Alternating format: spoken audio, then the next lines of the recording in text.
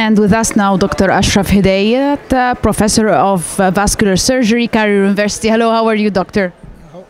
How are you? Thank you very much for this interview. Really nice to see you uh, today in IMAC. Um, uh, what's your opinion um, uh, in IMAC conference this year? It's a very well organized uh, meeting. It's full of uh, uh, experts coming from all over the world, from Europe, from the United States, even from uh, Singapore. And uh, they are all uh, very famous uh, vascular surgeons.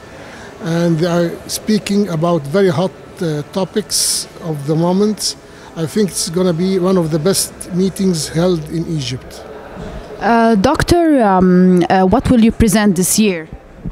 This year, I'm going to present uh, uh, a case thoracoabdominal aortic aneurysm, uh, type 5, and it is uh, taking the celiac artery origin. So we have to do a hybrid technique. We are going to use a hybrid technique in this case uh, to uh, vascularize the visceral vessels, the celiac, superior mesenteric, and the renals by an operative procedure, taking the blood supply to these uh, organs from the left and right common iliacs.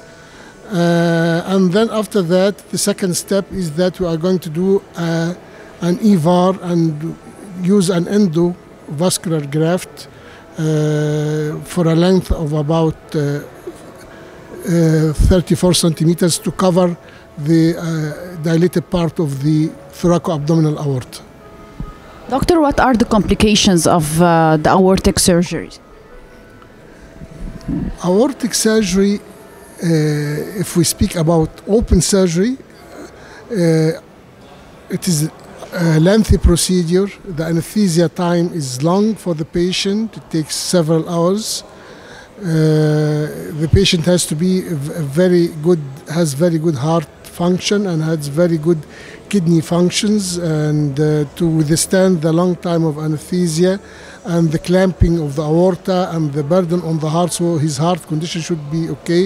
So he's liable for heart complications, uh, kidney complications, bleeding from the uh, expo- exposure and the anastomosis of the vessels and so on. So aortic surgery is one of the most major surgeries. It has a lot of complications if not uh, well done. Doctor, and finally, what do you expect to see next year in uh, IMAC conference? Every year there are uh, advances in the techniques and in the industry of uh, the aortic and the peripheral vascular surgery. Maybe next year I hope to see um, easier techniques for the thoracoabdominal aorta, especially the fenestrated grafts because they are very expensive and they are expensive for this country.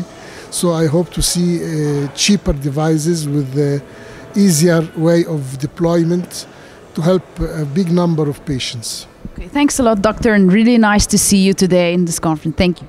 Thank you very much.